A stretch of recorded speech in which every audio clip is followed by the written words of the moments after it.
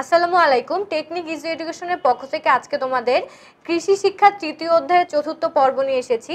গত পর্বে আমরা পড়েছিলাম বীজতলা রক্ষণাবেক্ষণ এবং মাটিতে সার প্রয়োগের বিভিন্ন ধরন এবং মাটিতে সার প্রয়োগ করলে কি হয়। আজকে দেখো আমরা কৃষি উপকরণে পড়ব মাটিতে সার ব্যবহারের আগে করণীয়।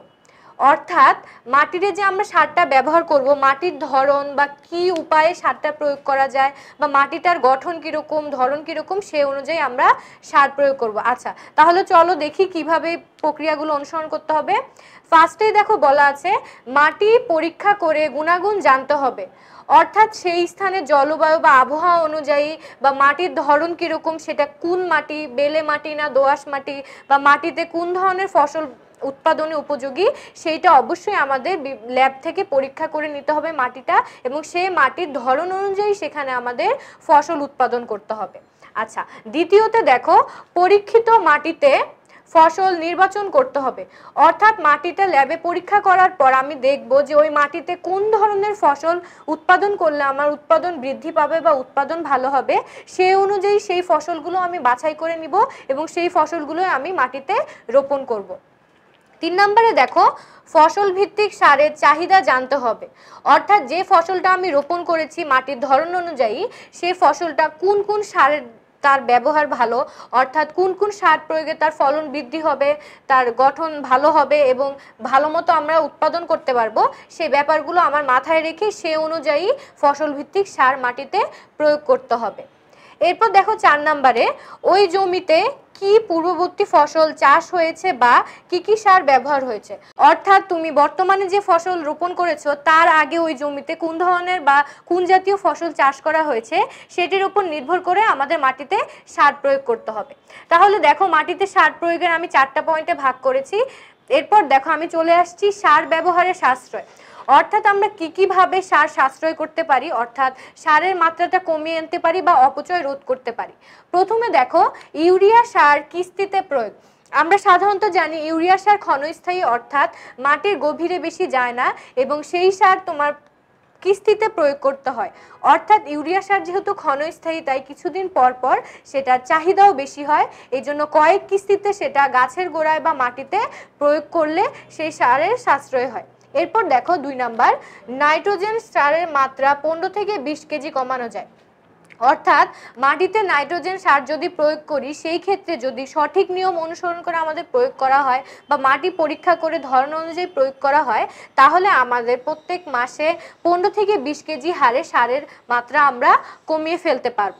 এরপর দেখো তিন নম্বরে আসছি, সুটি জাতীয় দানা ফসল চাষের পর নাইট্রোজেন সার প্রয়োগের মাত্রা আট থেকে দশ কেজি কমানো যায়।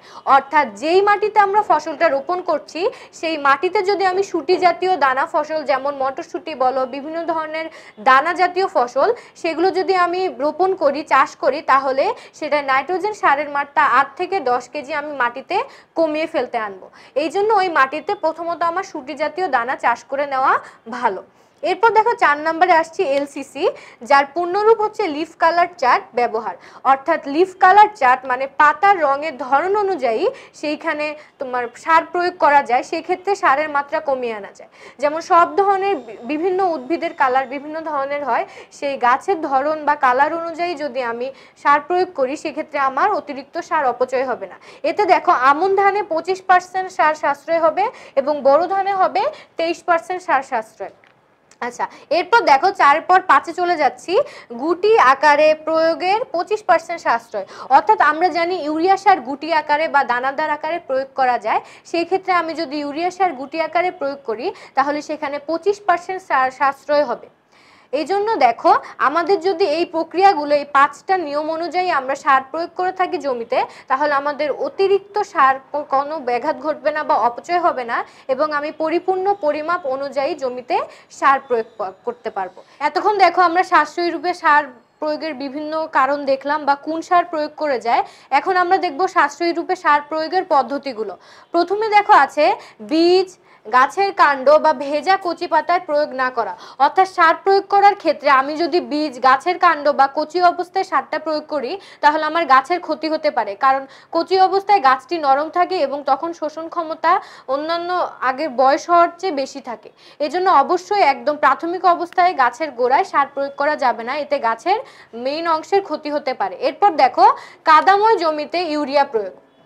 অর্থাৎ কাদাময় যে জমি থাকবে, অর্থাৎ বীজতলা বা গাছ রোপণের পর আমরা সবসময় বলেছি যে বীজতলা সবসময় ভেজা অবস্থায় চারা প্রয়োগ করতে হবে। সেই ক্ষেত্রে বীজতলা যখন ভেজা থাকবে বা কাদাময় থাকবে, তখনই জমিতে ইউরিয়া প্রয়োগ করতে হবে।